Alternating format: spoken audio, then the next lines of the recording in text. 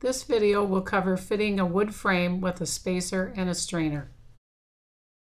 The materials we will need for this project are the frame, spacers, hinged artwork package, glass or acrylic, strainer, screws, drill, double-faced tape, scissors, and a brush.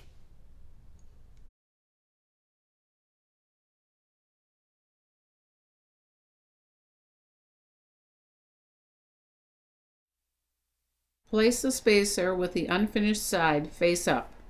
Take the double face tape roll and pull it out so it's the same size of the spacer and trim it off with the scissors.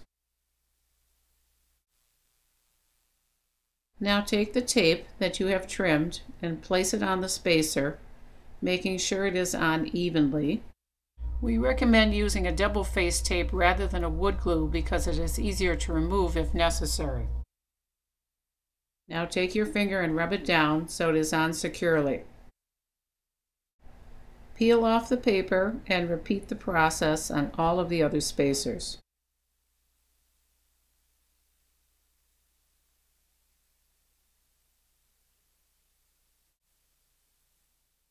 Take the glass or plexiglass and place it in the frame. Spacer has one finished side and one finished edge. Make sure that the finished edge is next to the glazing and the finished side is facing out. Using both hands, very carefully lower the spacer into the frame, making sure not to touch the inside of the frame or the glazing until the bottom edge is seated on the edge of the glazing. Once it is aligned, press it in onto the side of the frame and it will stick immediately. The spacers have been cut so that the long sides need to be attached first. Once that is done, attach the two short sides.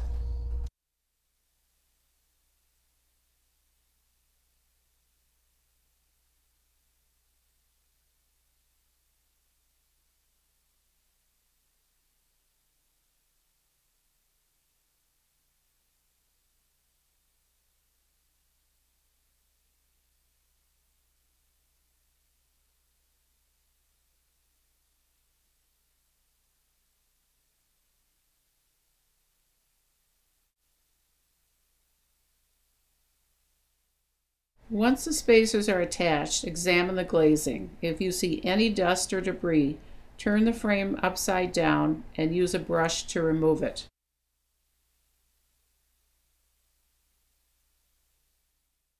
Take your art package and place it on top of the strainer and then place the frame over it.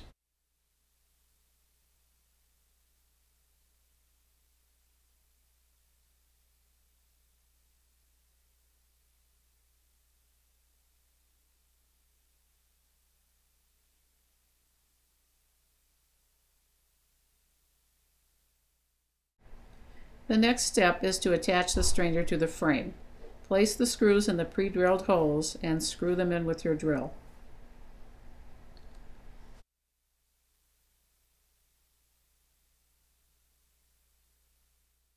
When all the screws are inserted, you are ready to attach the hanging devices, wire, and bumpers.